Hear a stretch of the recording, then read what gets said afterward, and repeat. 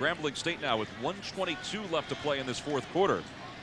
Well, we we have seen a 40-second, 60-yard uh, drive out of Grambling, so let's see if we can do it again. Yeah, it took three plays for them to score earlier in this half.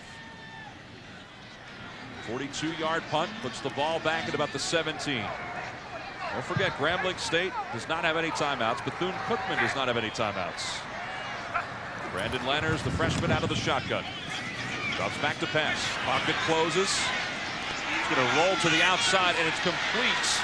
And again, he's able to find the freshman on the outside, Clyde Edwards, who has a first down. Brian Morgan, the senior place kicker for Grambling State. His career long is 52 yards. But don't forget, Grambling State has no timeouts left. So everything's got to happen quickly. Second and 10. Landers drops back to pass. Has plenty of time. Rolls to the near side. Being chased, throws on the run, incomplete. But Kari Geis was the intended receiver. But Ricky Williams is going to be called for pass interference.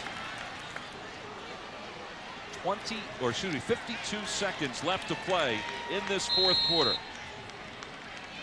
First and 10 from the 45 of Bethune-Cookman. Landers out of the shotgun. Plenty of time, wobbles it to the near side, incomplete. Edwards was the intended receiver. Oh, I should say it's Geis. Excuse me, so it's second and 10.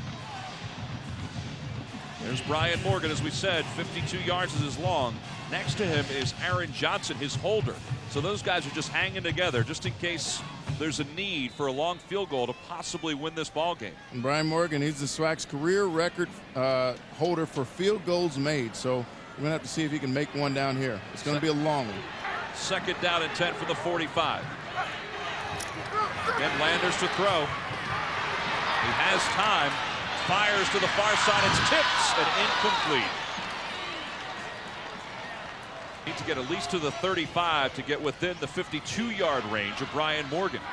It's third and 10 from the 45. Landers going to run the football to the 40. He's past the 35, and he's out of bounds at the 32. First and 10 from the 31 of Bethune-Cookman. Landers has three receivers to the top. Play clock is winding down. He gets it off. Drops back to pass again. Has time to the middle. It's to Geis, and it's complete.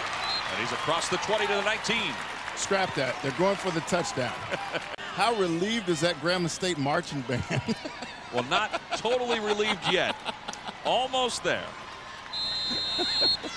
Brian Morgan. At the very least, they're sweating bullets, that's for sure. There's the band as quiet as they could be right now. Brian Morgan, who is a senior from Groves, Texas in 2001. Second team all Division One AA selection. And an All-American candidate yep. this year. Landers out of the shotgun on second and 10. Looking for the end zone. Throws to the end zone, and it's tipped off the hands of Landry Carter. I'd take another shot at end zone. Maybe, you know, a, a play over the middle wouldn't hurt because you can get the first down and still have the chance to spike the ball. 19 seconds left. There's plenty of time left on the clock to take one more shot. 19 seconds, no timeouts for Grambling State. Got to make sure you get a first down if you throw it over the middle, though. Landers again out of the shotgun.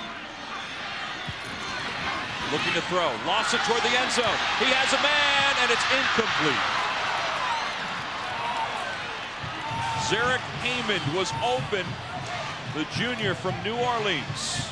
And the ball was overthrown. It may have actually gone right through his hands. He could have been the hero. He had the chance. Brandon Landers gave him a, a, a beautiful ball to go get. They're not wasting any time here, though. Aaron Randall is the long snapper. Aaron Johnson is the holder. This will be a 36-yard field goal attempt for Brian Morgan. Snap is good. The hold is good. The kick is up, and the kick is Thank good. You.